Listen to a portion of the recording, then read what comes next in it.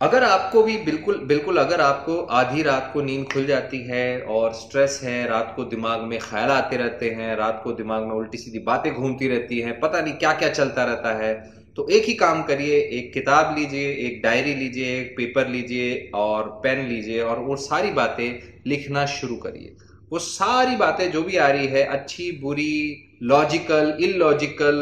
अंड भसंड जो समझ में आ रहा है, लिखो। Yes you have to understand जब आप उसे लिख देते हो एक पेपर पे, एक डायरी पे, कहीं पे भी तो आपके दिमाग में ऑटोमेटिकली फीडबैक जाता है okay now this is documented हमारे पास में हार्ड कॉपी है, हम इसको फ़िलहाल के लिए भूल सकते हैं। समझ रहे हो? क्योंकि कल सुबह उठ के आप हार्ड कॉपी देख सकते हो राइट सो आपके दिमाग को एक फीडबैक हो जाता है okay we have return it now relax right so यही हेल्प मिलती है आपको अपने इवन अगर फ़ोन पे अलार्म लगा लो, कल सुबह का रिमाइंडर लगा लो आप नोट्स नोट्स लिख लो फ़ोन पे रिकॉर्डिंग डाल लो फ़ोन पे आजकल वो आ गए हैं, आपके सीरी आ गई है, आपका गूगल आ गया है Google remind me to do this Siri remind me to do this करके आप सो सकते हो। Yes this makes a big difference try करके देखो ट्राई करके देखो, फिर मुझे बताओ, फ़ायदा हुआ, नहीं हुआ।